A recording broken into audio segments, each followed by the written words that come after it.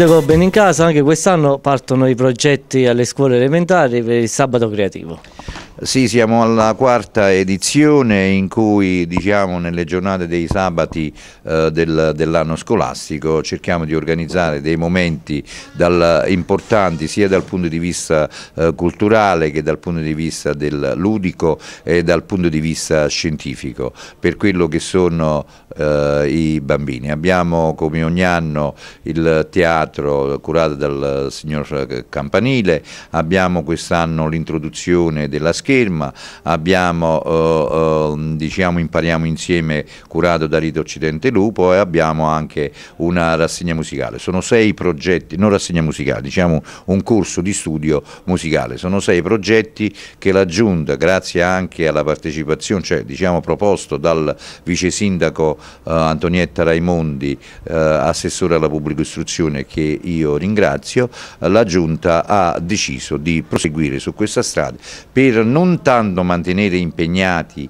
i, eh, gli studenti delle scuole elementari, ma quanto eh, per dare loro un segnale di aggregazione sia sotto l'aspetto eh, sociale sia sotto l'aspetto culturale. Dal primo settembre della direzione didattica di Vietri sul Mare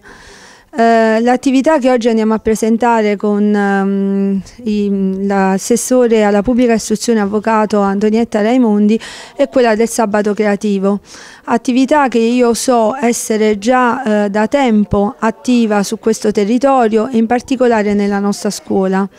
Si tratta di ehm, dare l'opportunità ai bambini di eh, frequentare nella giornata del sabato, quando le nostre attività didattiche sono interrotte, sono operativi solo gli uffici amministrativi, eh, corsi di eh, sicura rilevanza culturale e formativa che vanno eh, da attività corali, attività musicali, ehm, lezioni legate all'apprendimento dei rudimenti della lingua inglese. Ehm, mi hanno detto e mi hanno confermato che questa attività eh, ha prodotto sul territorio ehm, risultati sicuramente di grande valenza culturale, eh, c'è un'attenzione particolare anche da parte delle famiglie che ehm, hanno eh, sottolineato la positività di questi interventi. Eh, mi auguro che anche quest'anno a termine dell'anno dell scolastico, quindi a maggio-giugno quando si concluderanno appunto le attività di cui sopra, i risultati possano essere ancora ancora positivi se non addirittura migliori dello scorso anno. Grazie. Antonella Raimondi, anche quest'anno parte il progetto Sabato Creativo alle scuole. Sì, questo è il quarto anno da quando ho preso la delega dell'istruzione è stata un'esigenza eh, molto sentita dai genitori nel 2012, il primo anno 2012-2013 eh, che iniziamo questo progetto, dato che c'era il sabato la settimana corta e quindi i bambini il sabato mattina non essendoci molte strutture ricettizie eh, sul territorio a far fronte a questa esigenza familiare, specialmente delle mamme che lavorano, il comune eh, d'intesa naturalmente anche con la direzione didattica eh, nonché, per, eh, nonché, con l'Istituto Salesiano, ehm,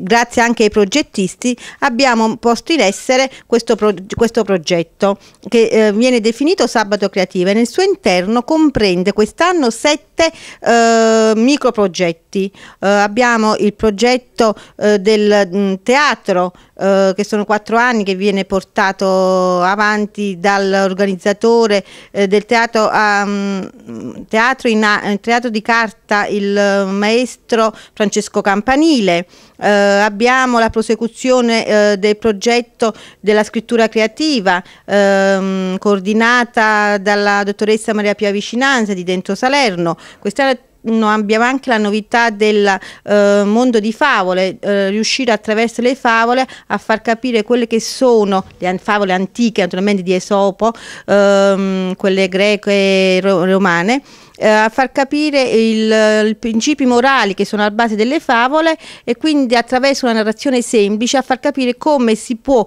coniugare il soggetto predicato e il complemento in modo semplice ed efficace.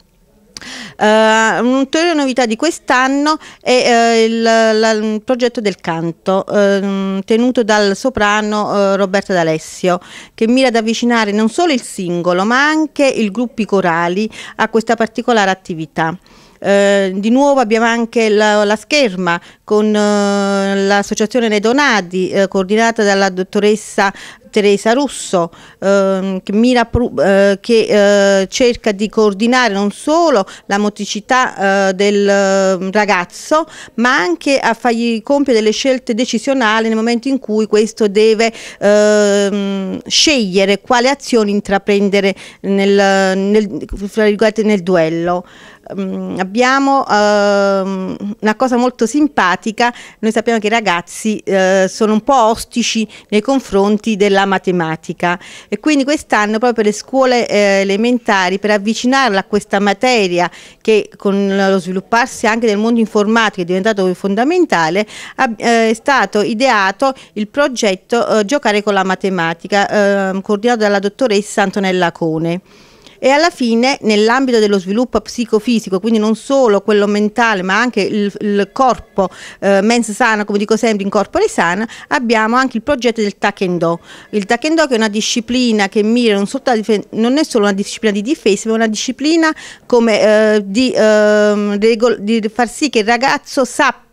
relazionarsi con le proprie forze, eh, relazionarsi eh, con gli altri eh, misurando quelle che sono le proprie forze. E mm, viene coordinata dal maestro Giovanni Linguadoca eh,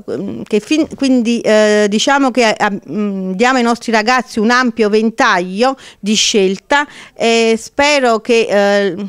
eh, scelgono più discipline proprio perché il comune eh, ci tiene aff affinché il, i futuri cittadini abbiano un, diciamo, un excursus, abbiano un, un percorso completo in ogni fase e che lo faccia naturalmente divertendosi, perché questo è lo spirito, eh, imparare, assimilare, divertendo, così non, eh, viene recepito sicuramente in modo più pregnante quello che è il principio che i vari educatori vogliono loro eh,